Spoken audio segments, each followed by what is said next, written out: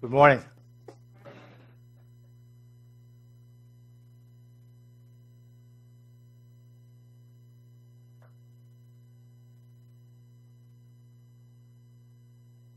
Here we go. We're in the middle of a series where we're talking about a faith that waits. And what we've described so far, a faith that waits, holds on to both pain and promises. A faith that waits has to hold on to the reality of both hurt and hope. And in Romans chapter 8, that's what we're working our way through. It describes a faith that waits. Paul turns to a subject that is of great interest to us. If we're in the middle of circumstances that would rather not wade through, what's the role of prayer? Where does prayer come in? And it's that if you take out your worship folder uh, let's read the text and then we'll apply it. The role of prayer in cultivating a faith that waits. Paul writes in, in Romans chapter 8, verses 26 to 27, but he says in the same way, the Spirit helps us in our weakness. We do not know what we ought to pray for, but the Spirit Himself intercedes for us with groans that words cannot express. And he who searches our hearts knows the mind of the Spirit because the Spirit intercedes for the saints in accordance with God's will. And what we found in this text, the last time we looked at it, we found unspoken requests and uncomfortable answers. We found unspoken requests really from two different sources from Christians and from the Holy Spirit. It says we do not know what we ought to pray for. So the first unspoken request is from Christians. We don't know what we ought to pray for. We have different kinds of needs. We have spirit needs and body needs. Those come into conflict with one another, and it makes it confusing for us to determine what the will of God is. And then, so we can't utter with confidence what we ought to pray for. And the other unspoken requests are of the Spirit. It says, the Spirit intercedes for us with groanings, with groans that words cannot express. And the, the intercession of the Spirit then is inaudible. It can't be spoken because it doesn't need to be spoken. The Spirit prays from within our hearts inaudible requests that rise to the ears of God the Father. So we have unspoken requests, and then we have uncomfortable answers. The Spirit intercedes for the saints in accordance with God's will. And what we determined, if the Spirit prays for us, right? The Spirit prays for us. And if the Spirit's requests are in accordance with God's will, will we receive what the Spirit prays for us? I'm going to say that again. If the Spirit prays for us, and his prayers are in accordance with God's will, will God grant the requests that the Spirit is asking for us? The answer is absolutely. He will. So the issue then is that, well, here's a question What is the Spirit praying for? That's a good question, right? What does the Spirit pray for? We know it's the will of God, but what does the will of God involve? And what we looked in the context of Romans chapter 8, it talks about the fact that the Spirit cries out within us that we are children of God, but it also says we have and we hold that sense in the midst of groanings and sufferings. The will of God involves suffering, which last time we, we kind of landed on this. It's really not that we don't know the will of God. It's that we do know it and don't like it to be pretty direct. The will of God involves things that are uncomfortable. It's not that we don't know the will of God, we do know it and don't like it. Well, I guess what it says, we are experiencing God's will in both the joyful things and the not so joyful things. In the sense of things that we want to have, and in the sense of the things that we'd like to have but don't. Uh, the will of God involves suffering, and what we looked at as well is that it's important to clarify why he says this. See, Paul's letters are one side of a phone conversation. And if he's saying, the Spirit prays for you in accordance with God's will, and, and the Spirit then will ask for things that God would will, yes. So what's happening on the other side of the phone? And the sense here in this passage is the phone, this request, the problem Paul's addressing is not some poor child who is suffering maybe sexual or physical abuse. And, and Paul is saying, well, you've just got to understand that that's the will of God. And the will of God involves suffering. So I'm sorry, that is not what's happening in this text. It's not what's happening in this text. So if some of you are exposed to terrible, awful things, it's not that God is saying to you. And what Paul is saying, oh, sorry, it's the will of God. Now, it does involve suffering, but that's not why Paul's writing this. Why Paul's writing this is there are individuals that are experiencing difficult things, and this is what they're being told. Well, I'm sorry. The reason why you're experiencing what you're experiencing is you're not praying the right way. If you prayed this way, then you'd be in a whole different place. And that's what Paul's addressing. No, no. You can't pray your way out of difficulties. Not going to happen. Because the will of God involves suffering. Um, look what it's, talk about God's will. Matthew 3, 16 through 4, 1, it says, As soon as Jesus was baptized, he went up out of the water. At that moment, heaven was opened and he saw the Spirit of God descending like a dove and lighting on him. And a voice from heaven said, This is my Son, whom I love, with whom I am well pleased. And then it says, Then the Spirit drove Jesus into the wilderness. The Spirit drove Jesus in the wilderness right after his baptism. And why is that? This is what the Spirit desired. This is was God's will. God's will regularly involves water experiences followed immediately by wilderness experiences. One minute, Jesus is rising up out of the water, hearing the Father say, This is my Son whom I love, with him I am well pleased. Immediately following that, he's led into the wilderness, and the next thing he listens to then is his stomach growling and the tempter urging him to say to God, Prove it. Prove that he loves you. Jesus was led by the Spirit into the desert. And it's not that this just happens to Jesus. The children of Israel experienced the exact same thing. On the far side of the Red Sea, they were led immediately into the wilderness. They stepped out of the Red Sea, and within two to three days, they stepped into the wilderness. And this is what we find in the text. Moses writes, He humbled you, causing you to hunger and then feeding you with manna, which neither you nor your fathers had known, to teach you that man does not live on bread alone, but on every word that comes from the mouth of the Lord, as a man disciplines his son. So the Lord your God disciplines you, as a man disciplines his son or daughter. So the Lord your God disciplines you. Being led by the Spirit from the water to the wilderness is related to discipline. Let's talk about discipline for a moment. Going to talk about four things very briefly. We're going to talk about the process of discipline, the motive, the focus, and the goal. Let's talk about the process of discipline. It says, He humbled you, causing you to hunger, and then feeding you with manna, which neither you nor your fathers had known. That's what the process of discipline looks like being caused to hunger. Hunger, some of you might be hungry. Hunger is a need that is impossible to sweep aside. Now, if you ate last night, you're not that hungry. But if it was weeks, you could not ignore hunger. It's, it's an uncomfortable need that is impossible to ignore. And what it seems that God triggers uncomfortable, uncontrollable reactions. And that's the process of discipline.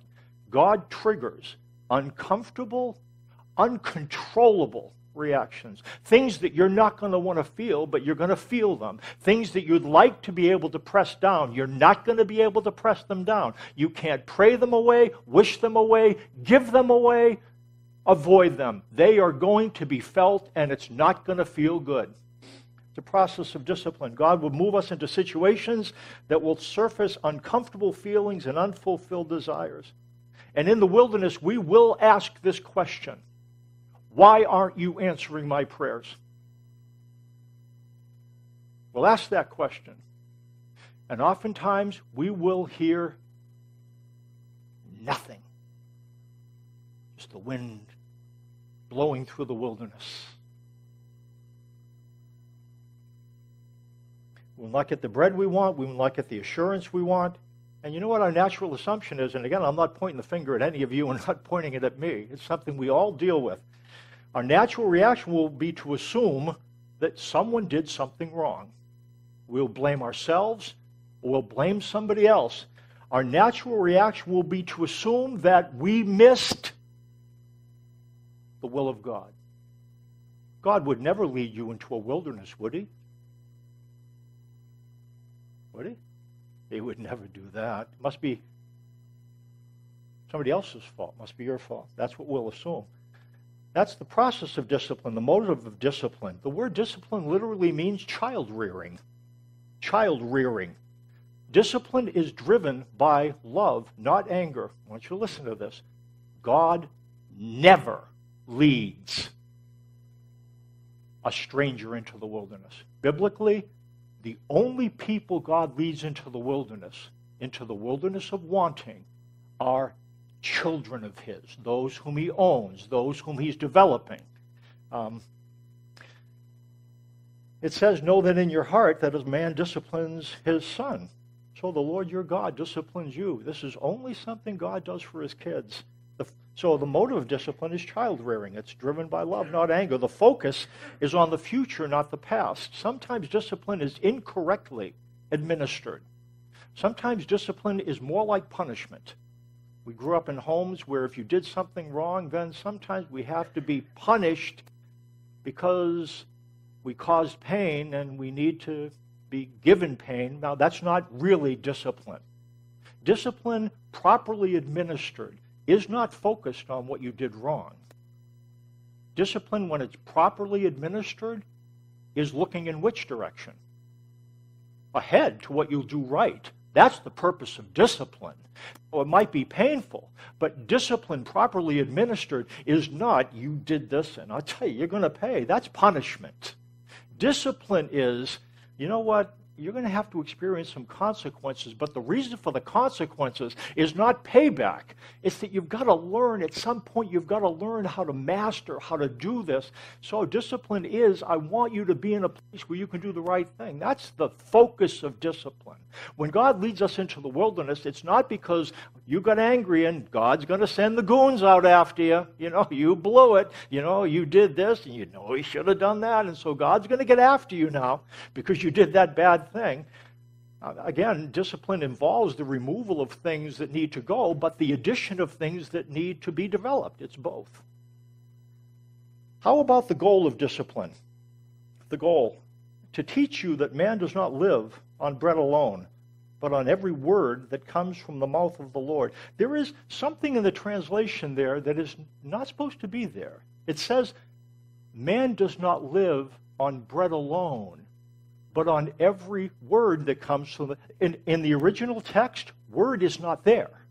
Here's what it says Man does not live on bread alone, but on everything that comes from the mouth of the Lord. Do you know what I think it's suggesting? Bread comes from God's mouth. God doesn't want us to live by bread alone because bread comes from God's mouth, but bread isn't the only thing that comes from God's mouth. What else comes from God's mouth? Words and promises.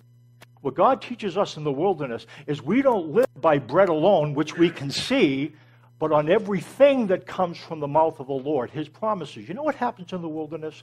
We transfer our trust from what we see to what he says. That's in the Bible somewhere, isn't it? We live by faith, not by sight. Easy to trust God when it's right there. I can touch it. What's tougher if I'm in a place that I can't touch it? It's not in the checkbook. It's not sitting across the table. It's not at my workplace. It's not in my family. I ask God to do this I ask God to do this, and it's not there. But what is there are promises. And in the wilderness, we transfer our trust from what we see to what He says. And that's the goal of discipline to teach us to live by faith and not by sight. And we saw that that's something He leads His children into the wilderness to experience. But that was the Israelites. How about us? Let's see what it says in Peter. 1 Peter 1, I'll read. It says, In His great mercy, He has given us new birth into a living hope through the resurrection of Jesus Christ from the dead, and into an inheritance that can never perish, spoil, or fade, kept in heaven for you, who, through faith, are shielded by God's power until the coming of the salvation that is ready to be revealed in the last time. In this you greatly rejoice, though now, for a little while, you may have had to suffer grief and all kinds of trials. These have come, so that your faith of greater worth than gold, which perishes even though refined by fire, may be proved genuine and may result in praise, glory, and honor when Jesus Christ is revealed. It says a couple things about faith. It suggests that faith is protective. What it says, in his great mercy, he has given us new birth into a living hope talks about and into an inheritance that will not spoil or fade, kept in heaven. And then look, verse 5 who through faith are shielded by God's power. I want to tell you what shielded by God's power means. Shielded is guarded. I want you to imagine that this is a compound and that we are under attack. And the National Guard deploys a force to act as a, a protective perimeter and they are stationed around this compound, erecting a protective perimeter. There are individuals that would like to get in here to do us harm. They are guarding us. That's the picture. Who thrive through faith are guarded by God's power. God's power erects a protective perimeter and protect us from some things. And we're going to learn what those things are. But that's the image. Faith is protected. It's the image of a military presence, protecting us from influences that would threaten us from experiencing our eternal inheritance. Faith is protective. Protective. Faith is also purified. What it says, in this you greatly rejoice, though now for a little while you may have had to suffer grief and all kinds of trials. These have come so that your faith, of greater worth than gold, which perishes even though refined by fire, may be proved genuine and may result in praise, glory, and honor when Jesus Christ is revealed. Faith is not an all or nothing. It's not a black or white, up or down, plus or minus. Faith is, is evident in degrees. It is like gold. Gold doesn't exist just in one form. There are different purities to gold, correct? And the refining is how the quality and the purity of the gold becomes more valuable and more pure. As with gold, the purity and quality of faith are increased by exposure to fire. But in the case of faith, it's not physical flame that purifies faith, it is suffering. It says, though now for a little while you may have had to suffer grief in all kinds of trials. Faith is purified in the wilderness. That's where what we see and what God says comes into conflict. We don't see the bread. We don't see the provision. We have the promises and we hear God telling us promises, but we hear our stomach growl and there's tension involved there, isn't it? And sometimes what we do is we let go of the reality of our pain and we try to just hold on to God, and this is called hypocrisy. How are you doing? I'm fine. Any problems? No, not at all. Letting go of the hurt will not allow us to wait because God knows that we feel it. We've got to hold on to the hurt, but hold on to the promise. And some people let go of the promises. How are you doing? I guess okay, under the circumstances. Doing fine. But that lets go of hope. We've got to hold on to the hurt and hold on to the hope. Hold on to the reality of both things in order to cultivate a faith that waits. A faith that waits is not hanging on for heaven. That's not a faith that waits. Faith is purified in the wilderness. God's will, two words. Two words. I'm going to give you five words, all of which begin with S. You know, I love that kind of thing. Five S's, that's great. God's will is to surface hunger and to teach you to soothe it. To surface hunger and to teach you to soothe hunger by holding on to promises, the words that come out of his mouth. Okay, what about our prayers? Faith prays. What about our prayers? Um, let's think about this for a little bit.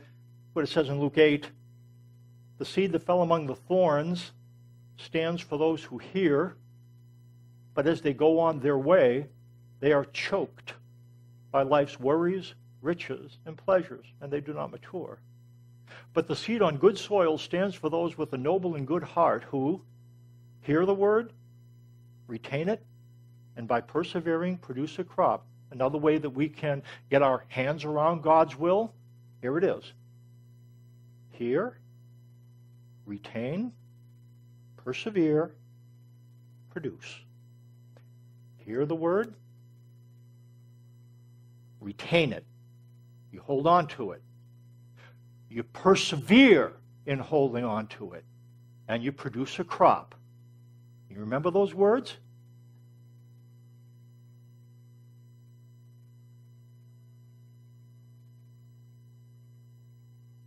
Hear, retain, persevere, produce. What's the hardest one of those four for you? Hear, not difficult for us to hear things in America. You could hear stuff from God all over the place. Hearing, retaining, eh, that's a little more challenging. Holding on to His Word when I have to hold on to pain. Where are you? Why aren't you doing it? Well, some of us, we don't really talk to Him at all. We complain to those around us. We say it must be their fault because God would never lead me into a place where I would be suffering. Can't be God. Hear, retain, persevere. That's it. You know what makes persevering hard? Pretending. It's one thing to persevere when you can be honest. It's another thing to try to persevere when you're pretending. You can only hold a smile so long. You know, it's, it's hard to hold a smile for a long time when you really don't feel like smiling. It's hard to persevere, but if you, then you can hear, retain, persevere, produce. Um,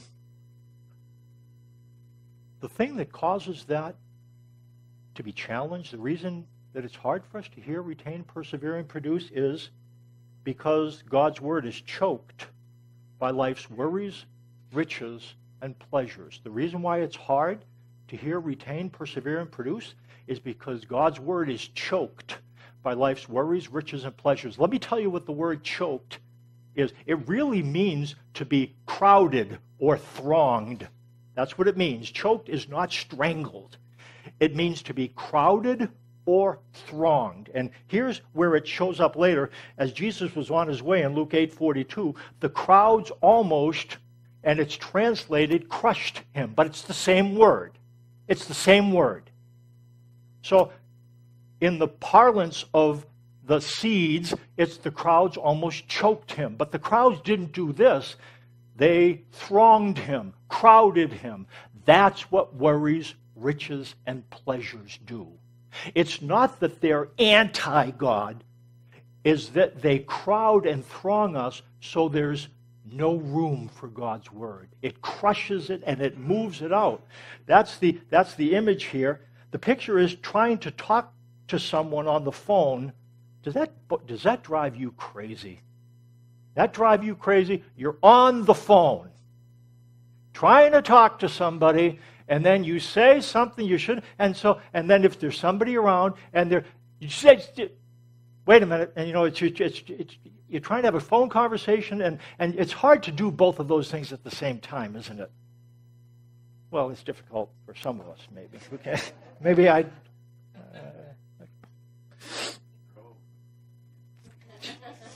like that. I'm trying to talk to you, and there's individuals talking to me down here. You know what it's you know what it's like? The picture is trying to listen to God in a crowd.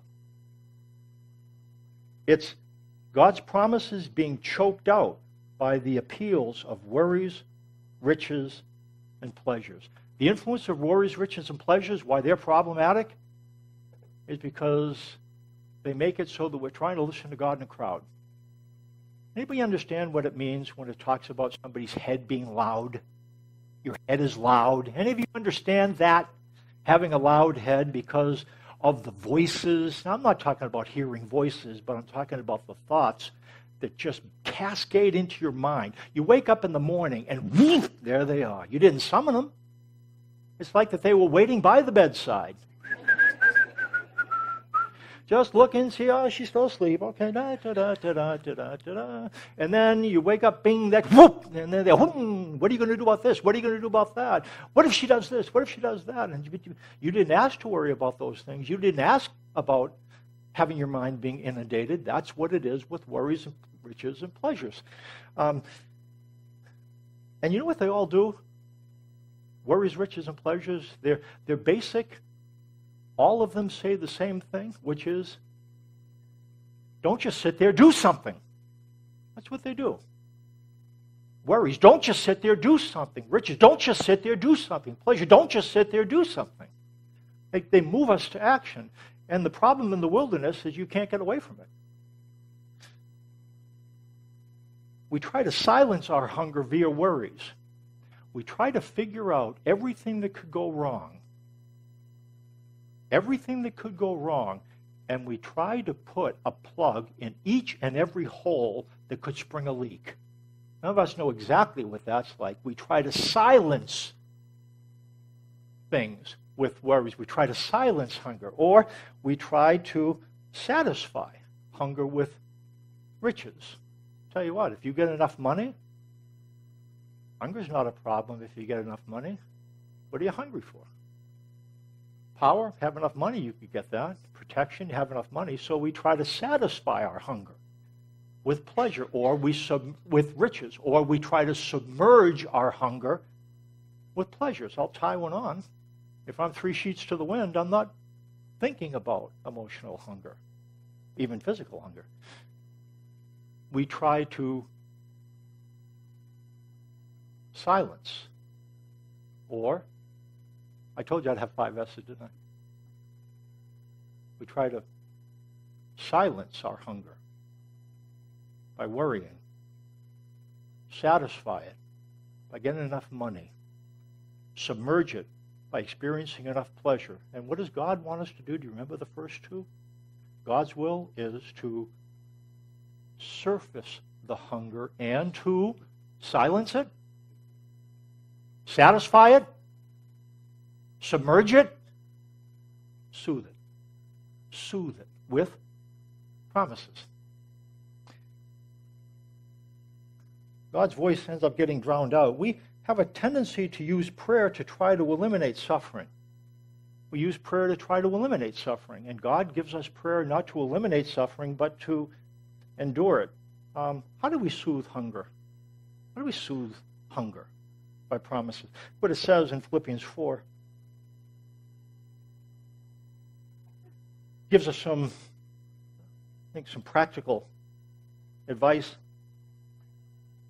Rejoice in the Lord always. I will say it again rejoice. Let your gentleness be evident to all. The Lord is near. Do not be anxious. Do not worry about anything. Easier said than done. The only thing I like about the Bible, it doesn't just say don't worry about it. Doesn't that drive you crazy? Don't worry about it. It might not happen. But it might happen. Hello. It doesn't just say don't worry. It gives some positive things. What do I do? It says, but in everything, by prayer and petition, with thanksgiving, present your requests to God. And the peace of God, which transcends all understanding, will guard. Do you remember the picture I painted about us being in here and people trying to attack us and the National Guard posting a perimeter? And that it says through faith are shielded by God's power in 1 Peter. This is the same word. The same word the peace of God, which transcends all understanding, will erect a military perimeter and keep your hearts and minds in Christ Jesus. And guess over time, now, they, they, this guard gets better over time as you use prayer, but what do you imagine this perimeter keeps out? What's trying to assault our minds? Worries, riches, pleasures. What is it that keeps our minds from being overrun by worries, riches, and pleasures? The peace of God erecting a military perimeter. The peace of God, which transcends all understanding, guards your hearts and minds in Christ Jesus, keeps the crowd out enough so that his voice doesn't get drowned out. Okay, here's the question How do you get the peace of God to do that? You know what it says? Pray about it. Pray about it. What are you concerned about? Why do you need more money? I'm not saying you don't. But what is the concern? What are you worrying about? Yourself, someone you care about? Why do you run to addictive things? What concern are you running away from? You know why we have addicted to pleasure? Because we can't stand the incursion of worries that flood our heads. Do you know what it's telling us here? God will erect a perimeter. You know what it will take? You're going to have to be honest with Him. Don't just use pattern prayers. Now, some of us learn some good prayers when we grow up. But in the midst of the wilderness, they're not going to, there's some prayers that are really good, but you're going to have to learn to speak truthfully with Him, to be real with Him. Say, God, I'm scared stiff. I know you say you promise, but, and that's, we have to be real. Have to be real. Prayer and everything by prayer and petition with thanksgiving. Now, you just can't complain out loud. You've got to really look at who you're talking to. Sometimes we pray, but prayer is just I don't like this, don't like that, don't like this, don't like that. This, this really stinks. You know, wait, hold on, just a minute. um, yeah, this, this, this. You know, we're not even doing. We're not even thinking of who we're talking to. You got to be real, but you got to be still. You got to think about who you're addressing. Think about him. Think about God. You know what he tells? He goes, one of the things God says to you, cease striving you know what that literally means? We've talked about it before. Drop your hands. That's right. Let go of your cell phone. Stop doing your checkbook balance just for a little bit. Get rid of the calendar just for a minute. And this is what God says to you, okay? You're looking at me. I am God. I will be exalted in the nations and on earth, and I will never leave you and never forsake you. And it's not that you use this to say, okay, I shouldn't worry, because then you know what you can do when you've you're being real and, and you're figuring out who you can you're talking to, you know what you can do at that point? You can be honest with them. Talk to them. Exhale your concerns and inhale his commitments. I think that's how it That's how it works. The peace of God acts as a military blockade. You know what it means when it says the peace of God that transcends all understanding? The picture is not that the peace of God is so wonderful. It is wonderful, but that's not the image. You know what the literal thing is? The peace of God outranks human understanding. It can commandeer it. It's, it's what a captain can do to a corporal. The peace of God is bigger, has more authority, and through prayer, again, this is not going to be automatic. But instead of worrying in everything by prayer and petition with thanksgiving, we make our requests known to God, and the peace of God starts to erect a, a perimeter. And when the thoughts come in, they say, Stand down. And those thoughts begin to stand down because the peace of God is powerful. See, the peace of God is not a nice feeling, the peace of God is powerful. It, it's military, it's protective. That's the image here. You might think of UN peacekeeping forces. They're not nice. They have a nice purpose. They have weapons. And that's what the peace of God is. Can you think of that? The peace of God is like the UN peacekeeping forces. They have a peacekeeping agenda, but they're ready to use whatever means necessary in order to provide the protection that's necessary. That's what God's peace is like. It tells us don't be anxious about anything, but in everything by prayer and petition with thanksgiving, let your request be made known to God. And the peace of God, which transcends all understanding, will guard our hearts and minds in Christ Jesus. Don't just worry about it, pray about it, but be clear about what God promises.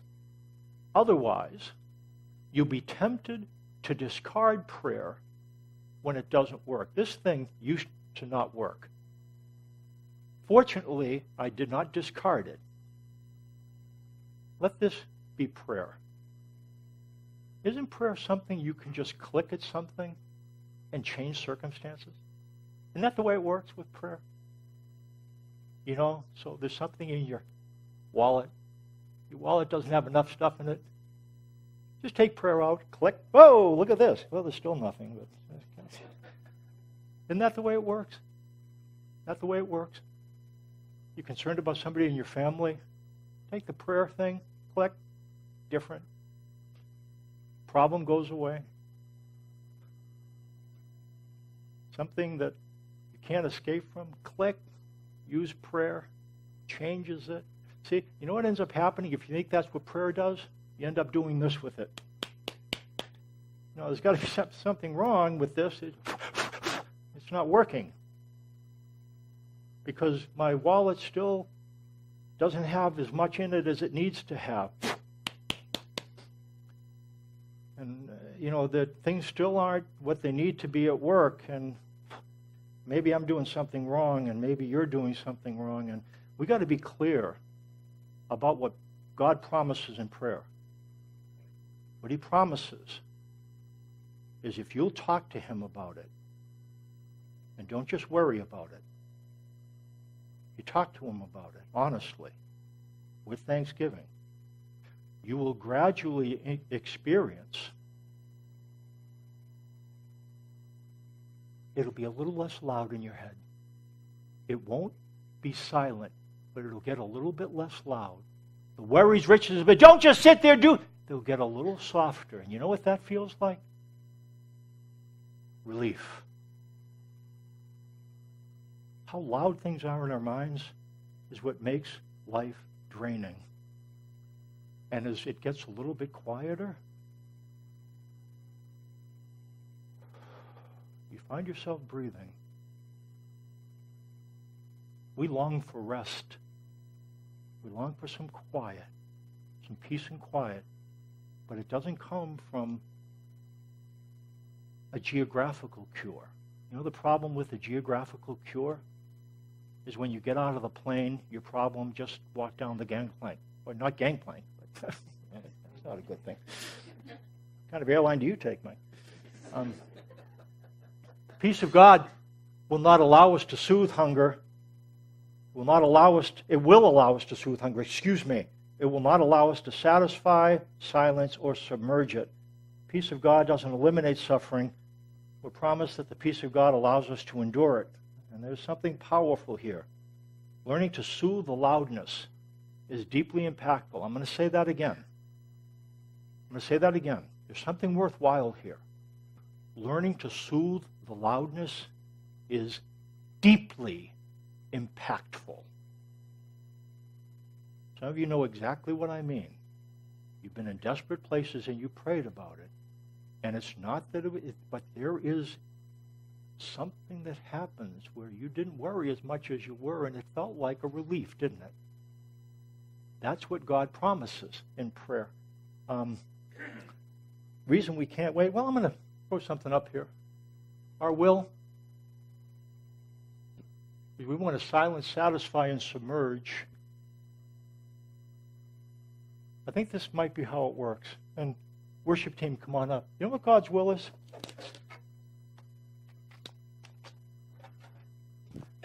God's will is that we wait perseveringly and respond gently. How do we pull that off? By our prayers. Be real. Be still. Breathe freely. Exhale your concerns and inhale his commitments. Father, your will calls us to have things surface that we really don't want to deal with but learn to soothe the things that are surfaced by clinging to promises, not just pain, hope, not just hurt. And as we are real about what we're going through and are still and think about who we're talking to and breathe freely, exhale these concerns and inhale commitments, we receive through the peace of God the power, space, a little bit of quietness that allows us to wait perseveringly and respond gently Continue to teach us about what it means to walk with you. In Jesus' name, amen.